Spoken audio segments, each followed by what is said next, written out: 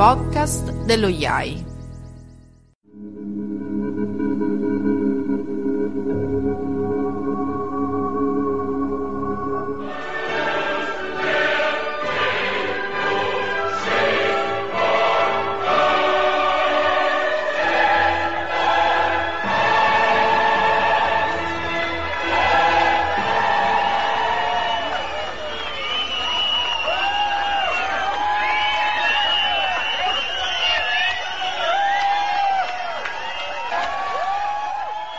I berlinesi hanno accolto così, come avete appena visto, un evento storico.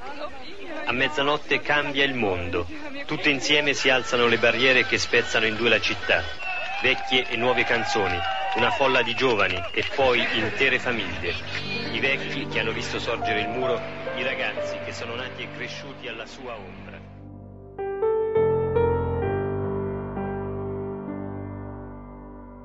È stata, se vogliamo, un po' il nocciolo di questa riconciliazione dell'Europa. Eh? Quindi l'unione delle due Germanie all'interno dello stesso Stato è il simbolo dell'Europa che si riunisce con tutte le sue eh, difficoltà e, e, e diversità se vogliamo, e, e, non è un caso che ancora ad oggi, cioè, nonostante i passi avanti enormi che sono stati eh, fatti in Germania, soprattutto per non soltanto per la trasformazione di un sistema politico, ma anche per eh, ridistribuire la ricchezza interna al paese, continuiamo ad avere una Germania eh, dell'Est che politicamente tende ad avere, come dire, un'attrazione fatale verso modelli politici, eh, diciamo, di carattere più autoritario.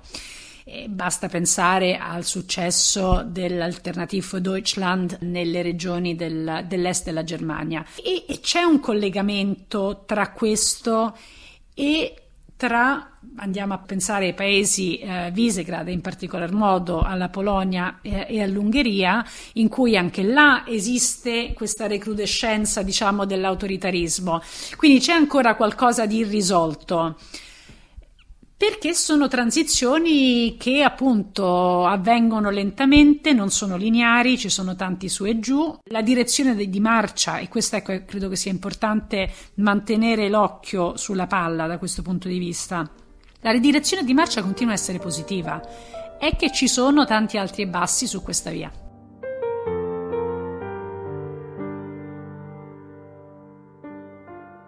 Oggi se la si riguarda con occhio critico sicuramente c'è qualcosa che non ha funzionato, è ovvio, fin troppo ovvio, basta vedere i livelli di sviluppo, i livelli di benessere, i livelli di PIL pro capite tra le due Germanie che fanno ancora rilevare delle differenze troppo, troppo marcate, troppo eccessive.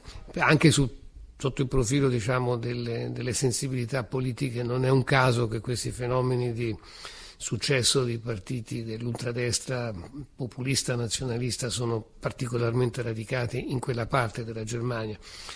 L'azzardo che corse Kohl con la decisione di riunificare dall'oggi al domani, senza processi progressivi e sulla base dello scambio un marco un marco, eh, evidentemente era un'esigenza politica fondamentale per evitare eh, indugi, ritardi, avuto qualche conseguenza, nel senso che anche con un drenaggio massiccio di risorse dalla Germania occidentale alla Germania orientale, dall'Europa alla Germania orientale, sono rimasti dei divari di sviluppo significativi con quei conseguenti fenomeni politici cui accennavo poco fa, che costituiscono un problema e che in qualche modo forse hanno impedito alla Germania di svolgere quel ruolo di leadership in Europa che eh, ne avrebbe dovuto competerle per le sue dimensioni, per il suo potenziale economico e politico.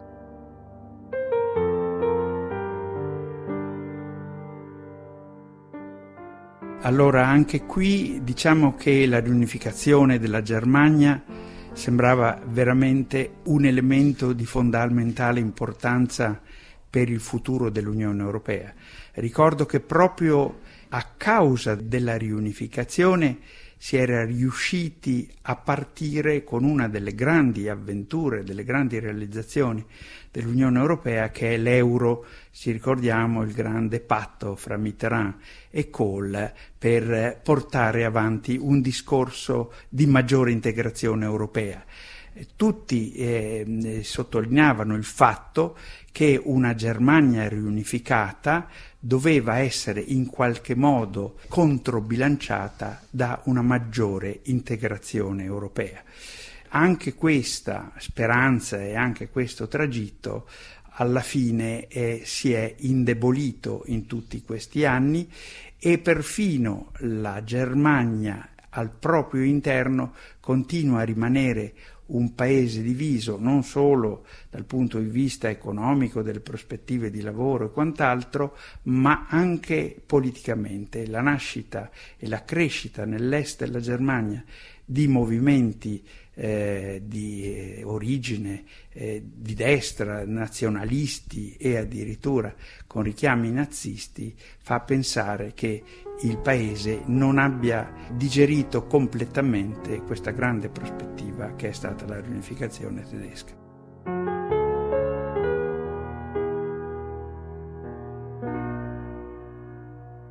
Riunificazione della Germania è stata la riunificazione tedesca, mentre tutti noi speravamo che fosse una riunificazione europea.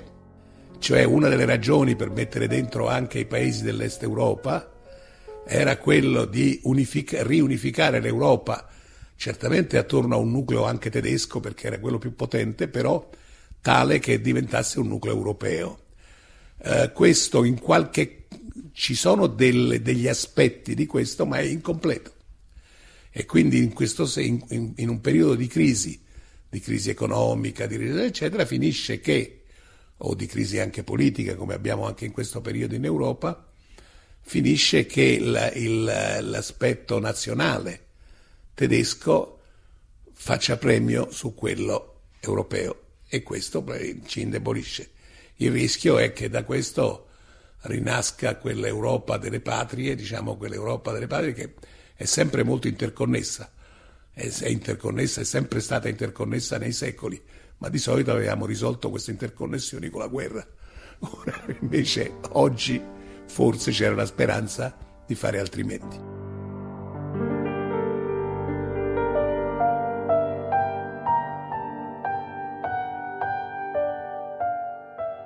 Vorrei sottolineare che questo, questa caduta del muro e poi il processo di unificazione fu parte di un processo di democratizzazione generale che investì anche altri continenti, quindi fu un evento significativo anche da questo punto di vista. Gli anni 90 furono diciamo, anni importantissimi per l'avanzata dei processi di democratizzazione e, certamente eh, la vicenda dell'89 e quelle successive e tutto diciamo, il processo di liberalizzazione dei paesi dell'Est eh, fu un punto di riferimento, certamente un modello. Diciamo.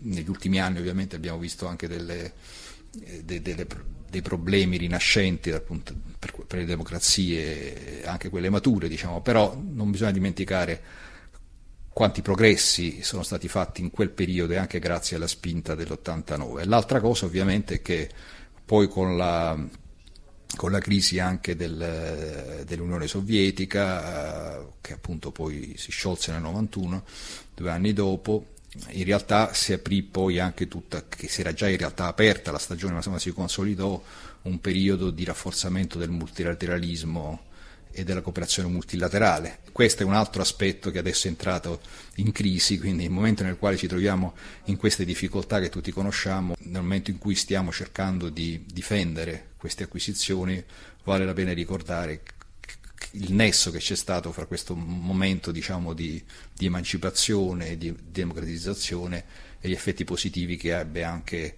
a vasto raggio e diciamo, a livello globale sulla scena internazionale.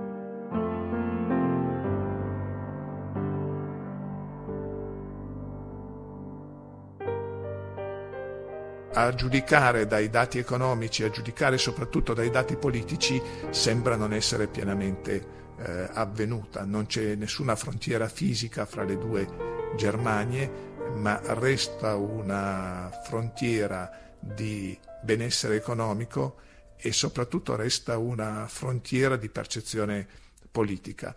L'Est è nostalgico del passato in parte nei suoi elettorati eh, anziani e sembra nostalgico di un passato ancora più lontano nei suoi elettori, elettori giovani. È una ferita, un vulnus per la democrazia tedesca ed è un vulnus per la democrazia europea.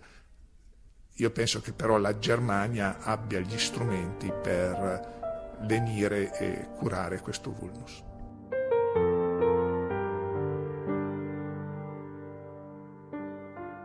Ecco, l'altra cosa che vorrei sottolineare è che eh, gli storici hanno guardato a questo periodo, soprattutto negli ultimi tempi, rivalutando molto il ruolo che ebbero gli europei, i governi europei, basti pensare all'azione decisiva del governo ungherese, per esempio, nel determinare questa caduta del muro e poi i successivi sviluppi. Eh, questa è un'importante acquisizione della, della conoscenza storica eh, perché si tende a guardare un po' alla guerra fredda tutta come un eh, contrasto giocato fra gli Stati Uniti e l'Unione Sovietica, mentre invece bisognerebbe rivalutare anche il ruolo che hanno svolto sia i paesi europei e le dirigenze europee, a partire naturalmente da quella della Repubblica Federale Tedesca, ma ovviamente anche gli altri partner che comunque assecondarono questo processo e lo, e lo cogestirono in maniera cooperativa, molto efficace, sia anche le dirigenze più aperte, diciamo come appunto quella ungherese a est. È una cosa di cui noi europei credo dobbiamo andare orgogliosi.